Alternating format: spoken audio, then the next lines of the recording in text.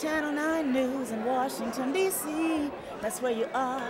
Do you agree? Channel 9 News on TV. This is Byrd singing love from you and me. We love Channel 9!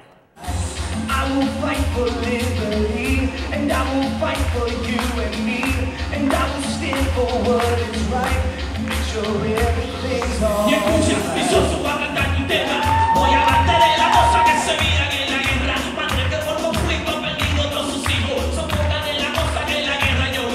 Los hombres que no quieren hacer un sacrificio para su familia un ejemplo más digno. No me explico pasan cosas, Señor mío.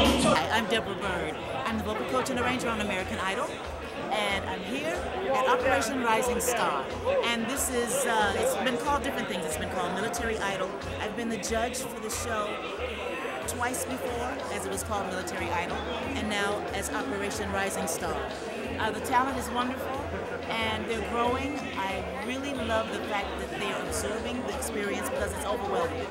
And I love the fact that it's a, a military occasion. I am the only Air Force person in the competition. I actually competed to get here at a uh, Army installation, so where I was doing my technical training. So got here. Uh, I think it went well tonight, though. What kind of judge are you? Are you more like like the nice Paula, or are you kind of like the mean Simon type? I I think I'm in between Simon and Paula. You know, I really want to be nice. Uh, and, you know, and I certainly don't have the talent as Byrd and, and Michael has because they're both professional singers.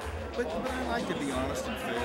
I'm having a good time here. Yeah. this is a great experience. And now you were singing the famous Jennifer Hudson song tonight. I mean, incredible. How did you feel your performance? You know, I felt really good, uh, really good about it because I only learned it in like, I learned it in like a week, and I didn't know how I was gonna go about it, but I think I did pretty well. Yeah. Fight for liberty. I- Vote for me. Vote for me. Vote for me. Vote for me. Lisa Brown. I love you. I love you.